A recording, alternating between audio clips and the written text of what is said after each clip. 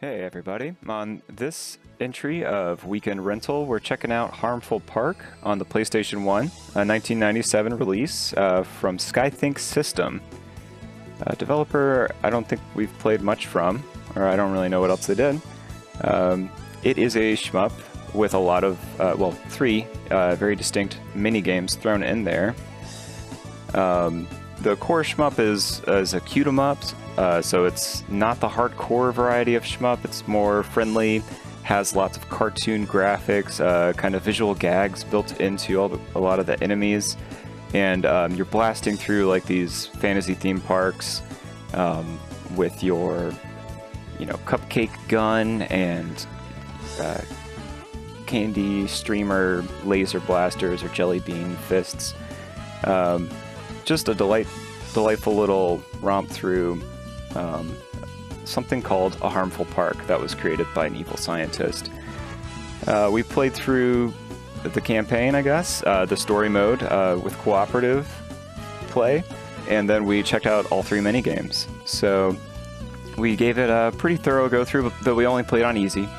I'll, I'll say that. Um, but I think I'm going to turn it over. We're going to hop on to verdicts. And first off, Neo$ent.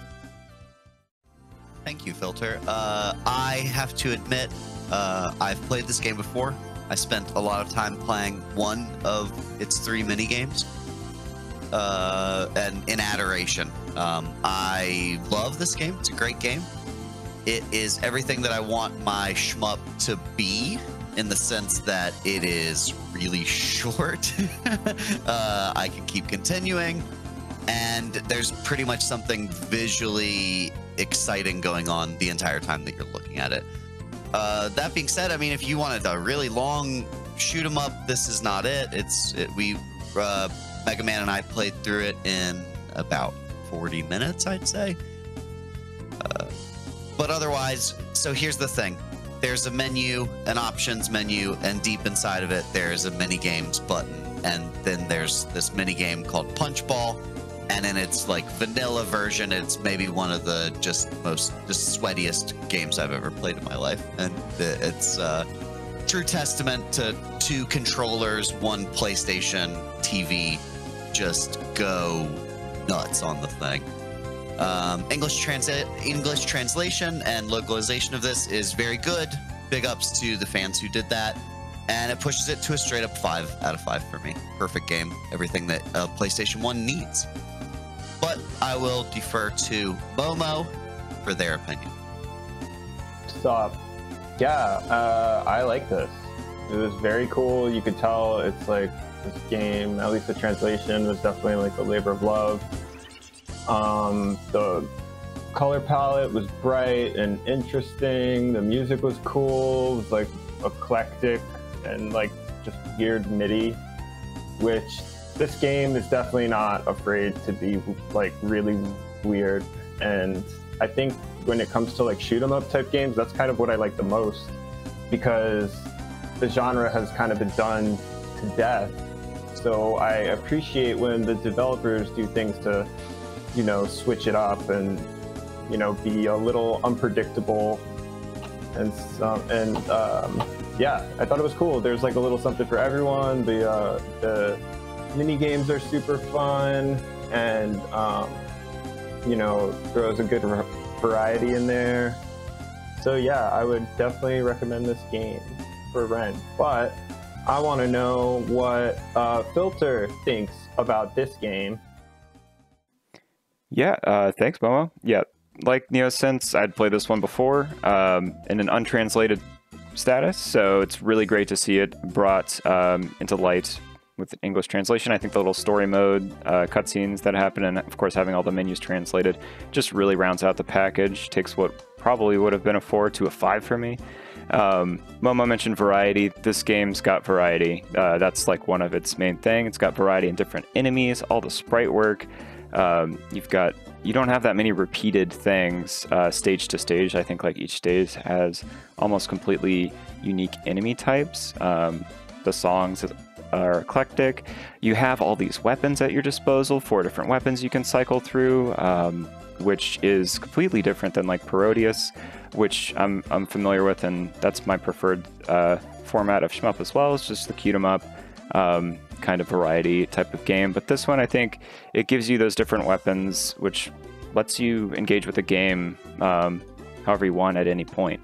And those mini games, um, that just adds to it. Really, it it, it uh, makes it like having an arcade collection on one disc. So, but it's a shmup, so it's very unusual and um, really adds value to just putting a disc in a PlayStation or a virtual PlayStation. Uh, we had played a lot of the arm ball, but I like the tank mode a lot. That high rate, high res uh, graphics they had with the like lasers bouncing off the wall and all the triangulation you had to do to try to corner somebody um, was pretty exciting, honestly. So there's a lot there if you, if you want to dig into it. Uh, what about you, Mega Man? Man, did you dig into this one? Did you dig what you dug? Oh, I I dig it, Doug. Dig Doug. I fuck. I dug this thing so diggy. I I lo- yeah, I loved it. I loved this game. Uh, I didn't know what to think at first, uh, just because of the way that it presents itself. But then once you get into the game, it's like, oh yeah, you know, this is this is a nice little side-scrolling shooter. I'm dying a lot. It is actually a little difficult, even on easy mode for me. Uh, and I I played Ikaruga a bunch. I also died a lot in that game. But uh, yeah, as far as this one goes, uh, I did enjoy the variety of enemies that were in there. Uh, I only really gave it a four because the controls felt a little hair of a laggy to me. I pressed down, I wouldn't go down for half a second. Maybe that was um, the streaming side of things, but like dodging stuff kind of hurt sometimes. Couldn't couldn't even do it. Um, did appreciate the aesthetics, of course. The music I think is where this game shines pretty good. Uh, thank God for PlayStation's uh, ability to have voices inside. It really adds another level to the MIDI music that comes behind it. Um, but yeah, uh, real fun, real fun game. Uh, I really wish I would have seen some more of the upgrades weapons, like it's like level three or beyond. I didn't even get to know how advanced those pies could become, or my ice cream laser. Uh, you know, what kind of destruction could I, I wreak upon uh, hateful park, harmful park? uh, but I kept dying too much, and if you die, you lose your upgrades. At least for the weapons you die with. But uh, yeah, yeah, I, I loved it. I loved it good. Um, but you know, enough enough about my opinion. Uh, Mr. Dubs, I see. Uh, what what do you have to say about it? Hey, thank you, Mega Man. Man, uh, I'm a shmup fiend. I love shmups, and this game has some personality. It was really fun playing as co-op, something I don't usually do, and uh, I think the difficulty was about right for easy, especially on the later levels. Uh, it gets crazy, and it doesn't take itself seriously, which I like.